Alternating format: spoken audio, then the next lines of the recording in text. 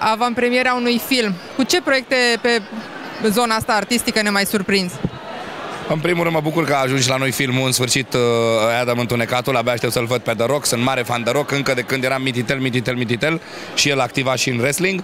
Uh, ce planuri pe partea artistică? Uh, încercăm să trecem iarna noi artiștii. Am câteva piese la care trebuie să lucrez să le lansez în perioada ce urmează. Lansezi ceva de Crăciun? Nu, de Crăciun nu. Nu am piese normale, dar niște piese frumoase. Um, și mă țin de canalul meu de YouTube. Vezi, din, nu știu dacă din păcate sau din fericire, dar pentru mine partea de artisticări a rămas YouTube-ul. E superb și concertele, într-adevăr. Dar mai ai timp, ai atâtea, te ocupi de muzică, construiești case, ai șaurmeriile. Câte ore de muncă muncești tu zilnic? Eu vin și te întreb ceva. Ce altceva ne mai rămâne de făcut în zilele astea atât de ciudate? Dacă nu să muncim și să ne odihnim. Am timp să știm, fiecare zi dorm cel puțin 8 ore. Cel puțin puțin oră. Cum arată așa o zi de muncă pentru Dorian Popa?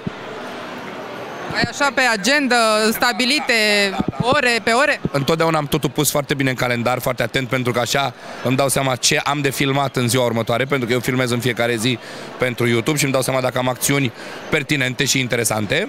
Uh, plec pe teren undeva pe la ora 10 jumătate 11. Adică pe șantier?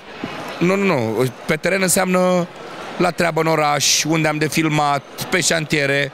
Terenul meu este întreg Bucureștiul, de ce nu chiar și țara când am concerte, da? Pe teren înseamnă în viață făcând content și căutând content și idei mișto pentru urmăritorii noștri. Um, mă întorc undeva pe la 6 seara, uh, mănânc ceva, trag o gură de aer, plec la antrenament, și undeva la 10 închid în fiecare zi ziua de alergătură.